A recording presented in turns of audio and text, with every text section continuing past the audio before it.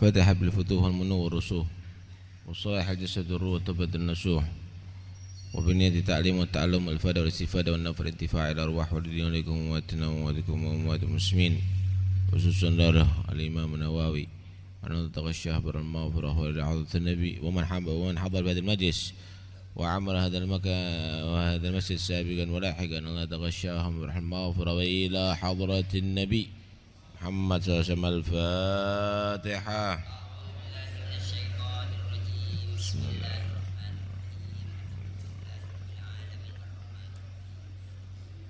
إياك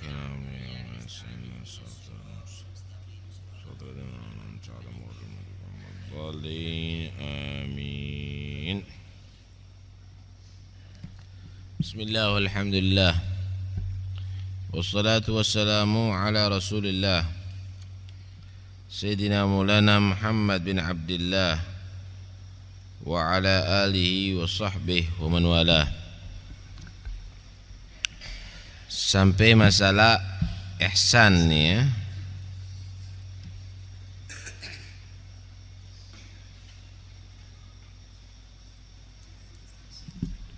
Wal ihsanu an ta'budallaha Hmm. Wal ihsanu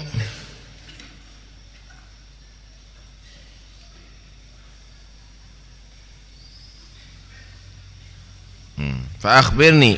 قال فأخبرني عن الإحسان. قال أن تعبد الله كأنك تراه فإن لم تكن تراه فإنه يراك.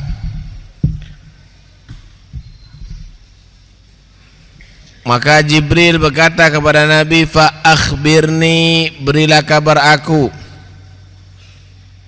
Anil ihsan daripada ihsan. Pertama ditanyakan tentang Islam Kedua dinyatakan ditanyakan tentang iman. Yang ketiga ihsan. Qala Maka Nabi menjawab Anta'budallah.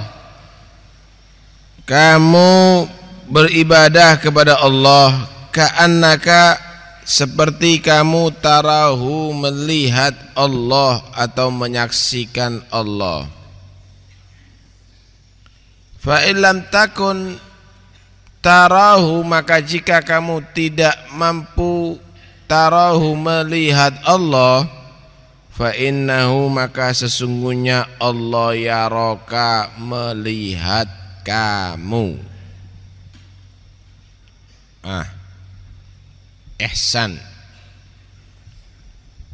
Ihsan itu dari ahsana yuhsinu ihsanan adalah bersikap atau berbuat baik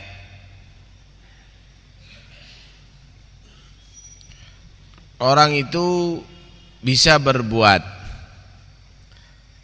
tapi ada yang memperbaiki perbuatan. Contoh begini. Membuat rumah dibangun batu bata, kasih atap, ada pintu, ada jendela. Tapi kalau ihsan memperbaiki rumah. Dicat dikasih tabir dikasih keramik kemudian dikasih tamana, eh, tanaman taman ada taman. Itu namanya memperbaiki ru, rumah. Sempurna jadinya rumahnya menarik Orang itu berpakaian. Bisa. Pakaian. Asal dipakai begitu. Tapi kalau memperbaiki lain lagi. Dikasih dibuatkan model safari, model jas, kemudian dikasih pulpen parker ada di kantongnya ada sapu tangannya disemprot minyak wangi jadinya rapi. Bagus. Ihsan. Ada seorang perempuan. Ini secara lugotan ya secara bahasa dulu kita bahas. Seorang perempuan. Udah mandi cukup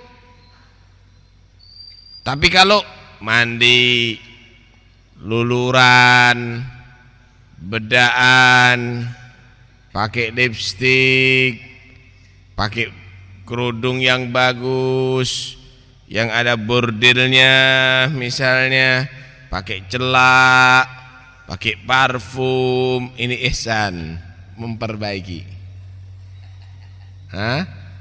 Jadinya cantik, menarik. Ini segi bahasa. Ibadah juga begitu. Sholat bisa. Orang berbuat sholat bisa, tapi kalau ihsan memperbaiki sholat didahului dengan wudhu yang khusyuk membersihkan daripada dua hadas dan najis kemudian adzan qomat tobat kepada Allah kemudian bersiwak. Kemudian melaksanakan sholat. Baik rukun yang dan yang sunnah-sunnahnya. Khusyuk dalam sholatnya. Tadabbur hadir. Hatinya memikirkan makna-makna ayat-ayat Quran yang ia baca. Ini namanya ihsan, memperbaiki so salat. Baca Quran bagus, semua bisa berbuat. Tapi kalau ihsan memperbaca Al-Qur'an, menghadap kiblat dengan rapi, dengan sopan, makhraj hurufnya bagus, dengan tartil, memahami semua arti bacaannya dengan perasaan takut jika di situ menerangkan tentang ayat adab dengan perasaan berharap jika menerangkan tentang ayat rahmat. Ini namanya ihsan. Konsep ihsan itu gimana? Supaya kita ini bisa ihsan memperbaiki ibadah kita. Jangan sholat asal-asalan jangan baca Quran asal-asalan jangan beramal asal-asalan anta'budallaha ka'annaka tarahu.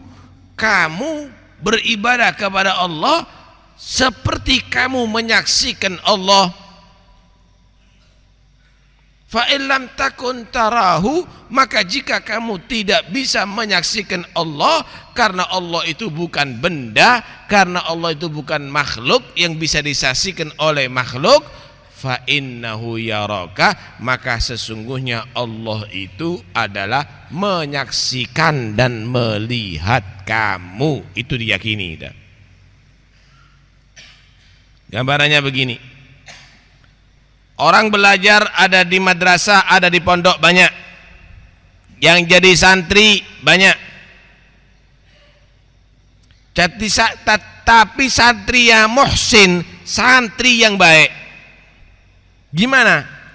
Dia bukan hanya mau belajar di muka ustadz. Kalau dia kelihatan ustadz, bawa bukunya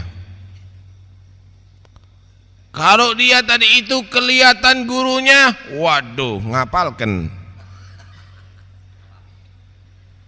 Tapi santri yang baik adalah hati-hati. Guru itu adalah selalu bersama kami, selalu mengontrol kami. Selalu dia lihat, iya ya, Jangan sampai aku salah, jangan sampai aku tidak apal, jangan sampai aku tidak belajar, jangan sampai aku malas. Ah. Kalau begitu santri tadi itu setiap saatnya sekalipun dia sendiri di dalam kamar dia tetap belajar. Kenapa? Awas, guru menilai kamu. Begitulah juga seorang hamba terhadap Allah Subhanahu wa taala. Gimana kalau kamu melihat Allah? Aduh, saya pasti akan sopan. Saya nggak mungkin akan berkata-kata yang tidak baik. Saya tidak mungkin akan berbuat yang jahat. Saya akan selalu ibadah kepada Allah.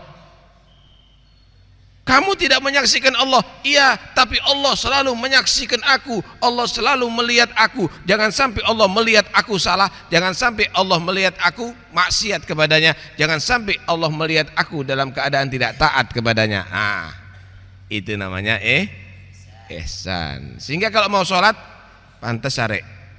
Kelambining ini pantas tak? Bajunya seperti gini ini pantas tak? Kalau sholat ini. Kita ini mau menghadap kepada Allah loh. Allah tahu loh dengan keadaan kita. Astagfirullahaladzim, ganti baju yang rapi. Nah. Waduh, pantas tak? Kok saya baunya kurang enak ini? Habis dari sawah langsung sholat ini. Waduh, nggak pantas. Atus sabunan dulu. Nah, ini secara dohir ini. Secara batin, ya Allah, Allah melihat hatiku. Pantas tak aku ini menghadap kepada Allah. Aku masih sombong. Astagfirullahaladzim tobat kepada Allah.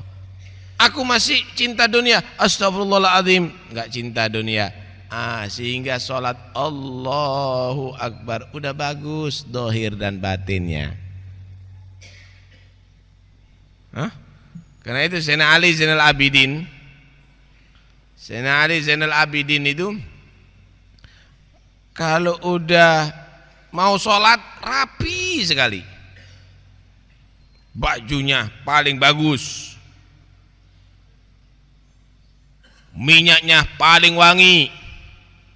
Bersih. Seperti kalau sampean mau resepsi itu.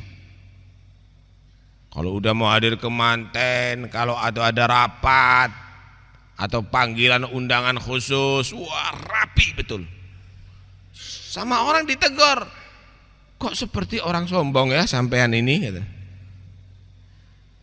kok necis bener? Kok rapi bener? Kata Sana Ali dan Abidin nggak baca Quran kamu.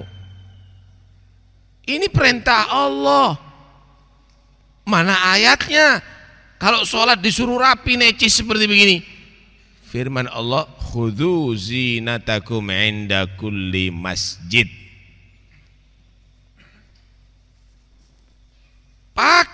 Itu yang menghiasi diri kamu itu pada setiap kamu itu mau melaksanakan sholat ada di masjid.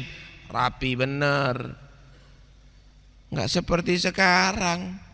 Masuk masjid masya Allah. Bolodok.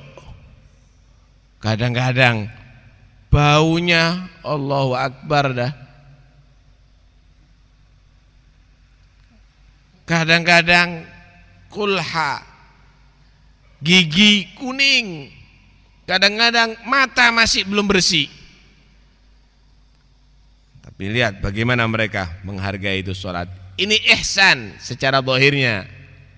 Batinnya sini Ali Zainal oh kalau udah habis wudhu mau sholat itu gemeter badannya. Gemeter.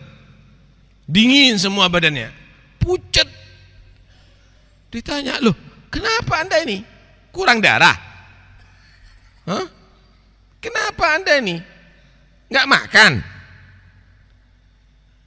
Sambil menjawab sambil gemeter, atadri baina yadaiman ugaddimu rijlaya atau baina yadaiman agum apakah kamu tidak mengetahui atadri baina yadaiman agum Apakah kamu tidak mengetahui? Apakah kamu belum kenal? Di hadapan siapa aku ini akan berdiri dan menghadap? Di hadapan Allah. Dipanggil sama polisi aja gemeter sampean. Panggilan kantor polisi. Gemeter. Kenapa? Takut salah. Takut ditangkap. Takut masuk penjara. Panggilan menghadap kepada Allah. Enggak takut salah padahal banyak salah mulutnya selalu bohong, perutnya banyak diisi subhat bahkan haram. Belum lagi hatinya. Kalau polisi masuk penjara, tapi kalau bersalah dengan Allah masuk neraka. Karena itu ihsan. Jadikanlah kamu itu beribadah kepada Allah seperti kamu menyaksikan Allah. Sehingga kamu adalah tampil menjadi orang yang terbaik, terbagus, terbersih. Kalaupun kamu itu tidak bisa menyaksikan Allah, Allah yang menyaksikan kamu, melihat kamu, menilai kamu. Serius nggak ini ibadahnya? Dinilai oleh Allah. Ada persiapan nggak ibadahnya? Dinilai oleh Allah Subhanahu wa taala. Nah, ini namanya ihsan. Hmm? Ada yang membagi ihsan itu ada tiga tingkatan. Pertama ihsan untuk sehatul a'mal, untuk kesahannya amal. Yang penting syaratnya diperbaiki syarat amal dan juga rukun-rukunnya amal diperbaiki.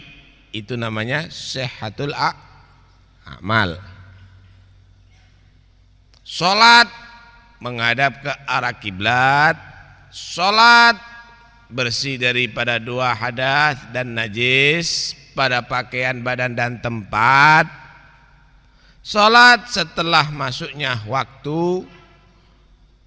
Kemudian rukunnya gimana rukuknya, i'tidalnya, suratul fatihahnya sampai salam. Kalau itu sudah selesai namanya ihsan tapi tingkatan pertama yang paling rendah. Ihsan yang kedua adalah muraqabah, maqamul muraqabah. Kamu itu dinilai loh sama Allah. Hati-hati. Kamu itu dinilai sama Allah hati-hati. Artinya yang bagus. Akhirnya ingin cari muka. Tapi kepada Allah. Ingin cari perhatian khusus, tapi dari Allah dari Allah. Ini muraqabah. Jangan sampai salah loh. Joko. Jangan sampai maksiat loh, jangan sampai dosa loh, dijaga. Kenapa? Dinilai sama Allah. Ibarat orang kau nanti hati diteliti kukunya kamu dilihat kotor apa enggak ibarat santri murid itu didelok wayai penelitian kebersihan. Untuk menengis tangannya dilihat kukunya panjang tak duduk sama gurunya. Hah? Dia lihat baunya, wah, tidak pakai parfum, sampet. Ah, Allah juga begitu, ngelihat hambanya, Dilihat mana yang maksiat ini? Mana yang berbuat dosa ini? Mana yang ahli ibadah ini?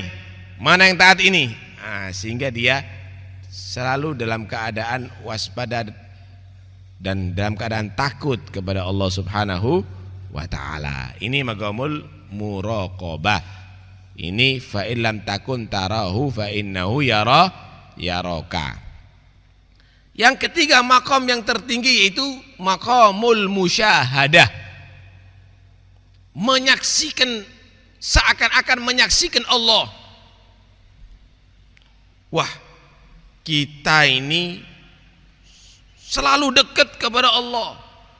Allah itu selalu bersama kita. Kita ini adalah selalu menyaksikan Allah bukan dengan mata, kepala, tapi merasakan dengan hati. Ini musyahadah. Merasakan dirinya menyaksikan Tuhannya. Hmm? Dengan mata hatinya. Dengan perasaan hatinya. Akhirnya selalu berwibawa. Menjaga sikap tidak sampai kurang ajar Kenapa? Di hadapan Allah masa kita maksiat? Di hadapan Allah masa berbuatan dosa? Di hadapan Allah masa sholatnya acak-acakan? Ini lebih top lagi nih. Hah? Ini lebih top lagi nih. Magamul musyah musyahadah. Kalau udah demikian, yurithul haibah wal haya minallah. Orang yang demikian ini selalu dia dalam keadaan sungkan sama Tuhannya. Malu dengan Tuhannya. Ya apa lek ditakoni. Ya apa lek di pertanggungjawabkan padahal aku jarang berzikir padahal aku masih begitu padahal aku masih begini begitu selalu dalam keadaan dia tadi itu malu kepada Tuhannya akhirnya mau sholat sedikit astagfirullahaladzim tidak pantas saya ini. Akhirnya mau baca Quran sedikit astagfirullahaladzim nggak pantas saya banyak dikasih nikmat kok.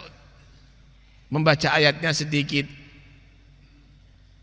Saya bisa ngelihat Al-Quran kok baca Quran sedikit nggak pantas terus begitu. Nah, inilah maqamul musyah musyahadah. Lah kalau sudah jadi orang yang demikian maka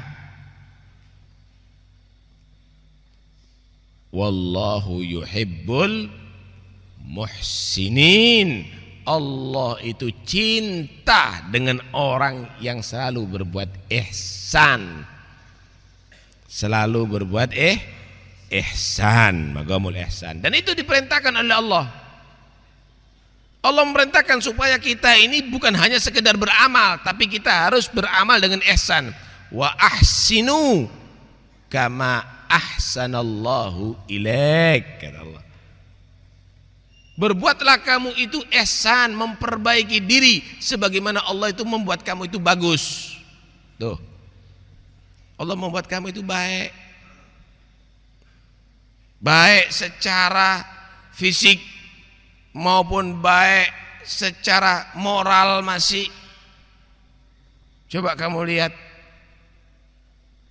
Allah menciptakan kamu kulit tidak bersisik seperti ikan atau tidak berbulu seperti kera memang keluar bulu atau rambutnya tapi pada posisi-posisi tertentu alisnya diatur keluar bulu. Itu pun persis. Bulu alis kanan arahnya ke kanan. Bulu alis kiri arahnya ke kiri. Dan itu rambutnya nggak panjang seperti rambut kepala. Kalau panjang rambutnya alis bisa nutupi mata. Nggak kaku seperti kakunya rambutnya idep Laki-laki pada posisi tertentu ada keluar juga rambutnya, rambut kumis. Perempuan nggak keluar. Laki-laki bisa keluar, kumis arah rambutnya ke bawah, nggak ada arahnya ke atas. Nggak kayak saput le ke atas itu. Arahnya pasti ke bawah itu kumis, nggak ke samping. Ke bawah arah rambutnya, subhanallah. Keluar juga jenggot. Pantas laki-laki pakai jenggot. Kalau perempuan nggak ada jenggotnya. Kalau perempuan pakai jenggot seperti kambing. Kambing itu betina pakai jenggot kadang-kadang. Subhanallah. Rambut perempuan panjang rapi. Kalau perempuan rambutnya panjang sampai ke bawah jadinya tambah bagus. Tapi laki-laki dibuat oleh Allah rambutnya jangan sampai ke bawah. Rapi jadinya dipantes semuanya. Ukuran hidung juga pantas tidak terlalu panjang seperti gajah tapi dibentuk pantas ukuran matanya ukuran telinganya subhanallah bisa dibayangkan kalau telinganya kita seperti kelinci. Ngelembre ke bawah. Tapi bagaimana Allah buat semuanya pantas.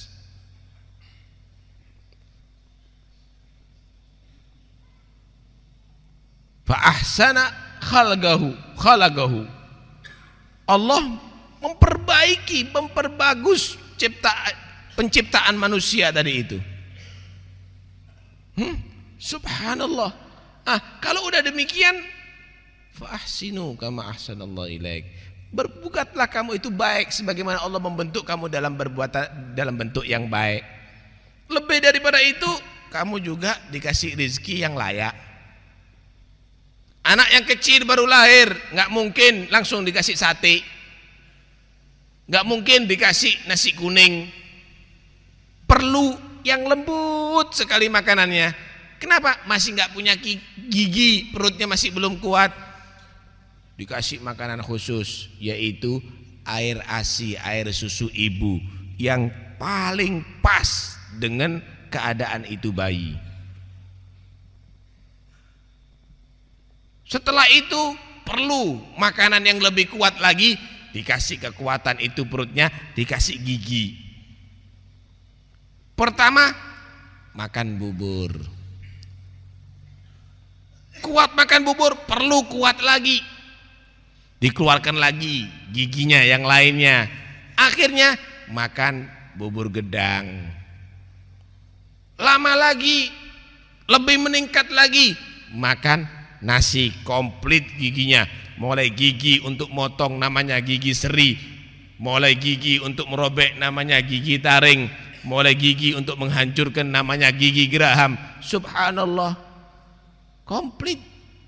Mangan jagung ada gigi bagian tumbuk menumbuk ada di belakang gigi geraham gede kemudian bentuknya itu bergigi prak acur jagungnya. Ada daging perlu dirobek dibuatkan gigi taring modelnya seperti linggis agak bunder kemudian lincip. Sehingga kalau ada daging ditarik dengan gigi taring ada ada uh, makan kerupuk. Besar itu kerupuk perlu dipotong sehingga perlu untuk gigi seperti pisau dibuat gigi seri panjang kemudian tajam mukanya. Sehingga kalau ada kerupuk yang besar dipotong krak oleh gigi tadi itu. Subhanallah itu masih mulut, belum mata, belum telinga, belum yang lainnya. Wa ahsin kama ahsanallah ilaik. Berbuatlah kamu itu baik sebagaimana Allah itu menjadikan segala sesuatu itu baik untuk kamu. Untukmu dibuat macam-macam oleh Allah. Duduk jadi si jidak ngono kayak pelat enggak. Subhanallah. Nah inilah magamul ihsan huh? magamul ihsan. Hadirin sekalian huh? yang dirahmati oleh Allah subhanahu wa ta'ala. Karena itu ketika manusia tadi itu sudah mencapai makamul ihsan ibadah tidak malas mana guys. Ibadahnya tidak malas lagi. Ini derajat yang tinggi sudah. Dia nikmat dalam ibadahnya. Kenapa? Menyaksikan Tuhannya tapi jangan ngeracu. Aku ketok Gusti Allah. Warnane wungu misalnya. Itu berarti harus pakai obat penenang wis mulai sempel kalau begitu itu saudara. Hmm? Bukan berarti menyaksikan Allah ketok Gusti Allah. Oh ternyata Gusti Allah itu bunder, loncong, wajib misalnya. Itu bisa kufur. Bukan begitu menyaksikan Allah itu. Menyaksikan Allah adalah menyaksikan segala sesuatu itu tidak bisa terjadi kecuali karena kehendak dan kekuasaan Allah. Tuh contohnya. Tanaman yang kita tanam ini. Kita tanam bibitnya aja kan padi. Setelah itu kita airi. Loh sing ngodot sampai dobo itu siapa? Sampai tanaman yang kecil menjadi gede sampai akhirnya berbuah yang mengeluarkan buahnya siapa? Iso diatur buahnya itu dalam tangkainya. Sampai akhirnya menguning sampai sampean panen. Paling tugasnya sampean tanemen, garapen sawai tanemen. Wis, mari ngono kabeh Gusti Allah. Loh, itu menjadi kesaksi. Subhanallah maha besar Allah maha mampu Allah. Coba sampai lihat ini pohon-pohon ini semuanya. Ono sing podo bentuk godongi enggak enggak ada yang sama. Bentuknya tidak ada yang sama. Suket itu loh perang ewu macam suket itu. Suket Jepang suket Cina suket Londo suket opo itu? Bentuknya lain-lain anda lihat itu. Pohon-pohon ini semuanya. Bentuknya tidak ada yang sama itu. Bentuk daunnya. Subhanallah. Tidak usah. Pohon sudah. Eh manusia ini. Dole ono bentuk irung sing podo ono sing dawa cili ono sing beker ono sing pesek, ono sing tepos, ono lain-lain, tidak ada yang sama. Hah? Bentuk bibir udah lain-lain. Tidak ada yang sama, subhanallah. Hmm? Ini orang kalau ngelihat begitu semakin takjub. Ya Allah. Akhirnya gak tahu, eh, gak tahu lali yang Gusti Allah. Kelihatan pohon iling subhanallah. Kelihatan manusia iling subhanallah. Coba sampai kalau nanem ada di Tegal gitu Tegal. Ada satu sumur, ada tanah Tegal seribu meter misalnya. Ditanami di situ. Ada jeruk pecel. Ada mangga. Ada Ya, ada apel. Nah, disirami dari satu ada blimbing, ada blimbing wulu, disirami dari satu air, satu mata air, satu sumur, disirami. Gede semuanya itu pohon. Pangan jeruk purut, apanya pangan jeruk pecel, kecut Loh, padahal saya nyiram itu tidak tak campur cuka itu. Kecutnya dari mana ini?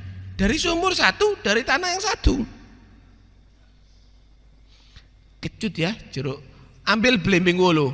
Kecut juga, tapi rasanya lain kecutnya. Macam-macam kecut. Paham ya? Dimakan.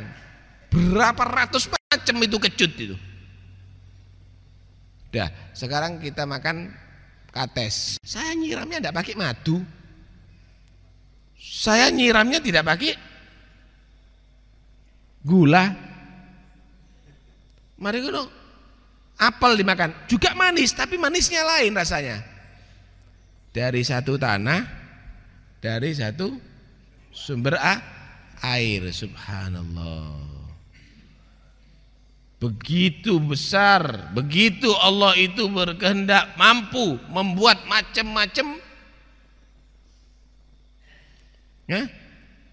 Cukup dengan perintah. Kun, jadi, jadi yo, jeruk sing kecut model gini, jadi. Jadi yo, apel yang manisnya model begini, jadi. Semuanya jadi, jadi, jadi. Yang lebih ajaib lagi, yang merasakan kecut model-model, yang merasakan manis model-model, yang merasakan getir model-model, yang merasakan pahit gede-gede, ilat satu. Ilat satu. Pedes sing rasano ilat pedes. Kecut, pahit. Oh iki kecute jeruk, oh iki kecute cuka, oh iki kecute jeruk pecel, oh iki ke, kecute uh, blembing, oh iki kecute macam-macam. Ini yang merasakan ilat satu. Akhirnya, astagfirullahaladzim.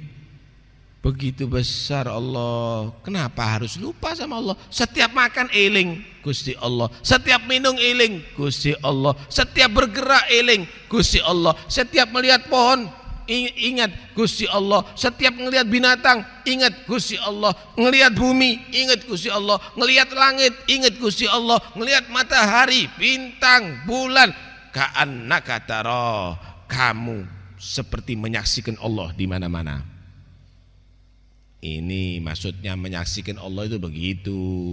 Itu menyaksikan Allah ketok Gusti Allah iku wong sempel. Itu hakikat, itu duduk hakikat. Kok niku berarti gendeng. Kalau model begitu. Bukan begitu maksudnya melihat Allah Subhanahu wa taala. Lek kon bagus ketok Gusti Allah. Ya apa ketok? Mata ini kelihatan, nggak bisa, Pak. Mata ini terbatas. Dukure langit tak ketok sampean. Tutup ada iku Kenapa? Mata ini terbatas, nggak akan bisa melihat Allah dengan mata kepala kita di atas dunia. Lantaroni, Nabi Musa aja nggak sanggup kok. Nggak akan bisa. Apa yang di tubuh kita ini ketutup sama kulit tak ketok kok. Ngaku-ngaku melihat Allah Subhanahu wa taala bisa kufur itu. Bisa murtab. Tapi kalau menyaksikan adanya Allah maka itu adalah makomul musyahadah makomul musyah musyahadah hadirin sekalian yang dirahmati Allah Subhanahu wa taala karena itu sampai sudah punya modal modal iman ada modal Islam ada Islam sama iman ini kalau dicampur Paham ya? Kemudian dibumboni lagi jadinya ihsan. Iman yang menggerakkan kita sholat, kemudian dibumboni lagi, dikasih khusyuk, khudu, adab, maka di situ nanti akan terjadi uh, makomul eh ihsan. Nggak bisa orang masuk makomul ihsan, makom yang tertinggi tanpa iman dan Islam, nggak bisa. Masa odimi, ono. Apa? Bahan masak? Ada misal. Ada masakan. Enak ada masakan. Cuma keono garam kalau anda senang micin keono micin? Cik nih sedep. Nikmat jadinya. Itu kalau ada micin. Saya nggak senang micin cuma. Hah? begitu juga kita ini. Ada Islam ada iman. Alhamdulillah ada modalnya. Cuma kasih ihsan. Atur adabnya. Atur kesempurnaannya. Perbaiki itu semuanya akhirnya meningkat ke makomul eh ihsan nah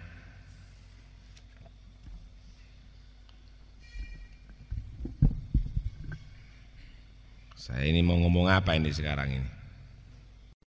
Sulit kadang-kadang ya untuk menggambarkan ini.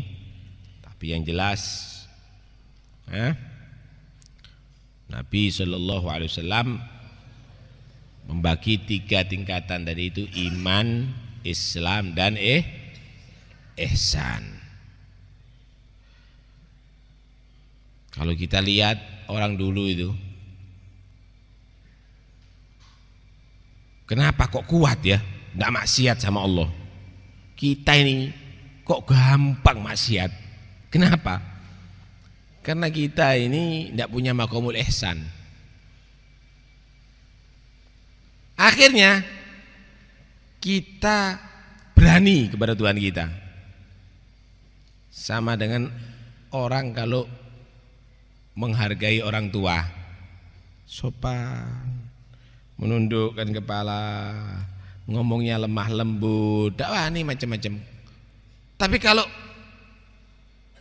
tidak punya ehsan, waduh, dia kan biasa, bapak ambil mai loh, wong tuwek, tak itu dok, semabut misalnya, rokokan, kadang-kadang ngentut, brot ngarepi orang tua, tidak menghargai. Begitu juga hamba terhadap Tuhannya Kalau dia itu ada makomul ihsan, dia akan sopan, tidak mau maksiat. Tidak, jangan. Saya takut sama Allah. Saya takut dengan siksanya Allah. Akhirnya selalu dia berzikir kepada Allah. Kenapa? Allah selalu ingat kepada aku. Masa aku melupakan Allah? Allah yang menciptakan aku, Allah yang menggerakkan jantungku, Allah yang memberi rezeki aku, Allah yang menyediakan udara untuk aku, Allah, Allah, Allah. Masa aku lupa kepada Allah? Enggak. Kalau orang nggak punya ihsan, wis opo ae. Biasa ae menungso iku. Akhirnya seneng lupa kepada Allah. Ya apa ya apa? Setelan niku lagune. Godek-godek. Eh, dolan niku. Eh, Puter mana yang VCD nih? Cerita itu, cerita ini diajak zikir. Afdhalu dzikri ngedo rokokan.